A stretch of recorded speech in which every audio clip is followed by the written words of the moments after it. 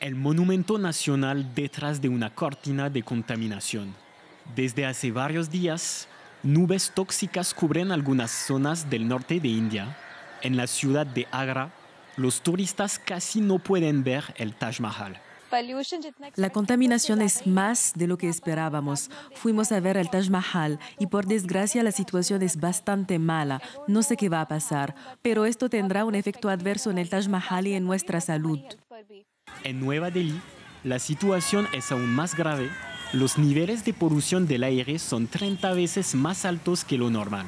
En la capital de más de 32 millones de habitantes, las actividades en el exterior se ralentizan unas se paran completamente. Las escuelas primarias permanecerán cerradas hasta el 10 de noviembre.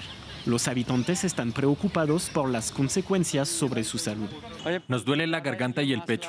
Llevamos mascarillas a causa de la polución que ha aumentado mucho en los últimos días.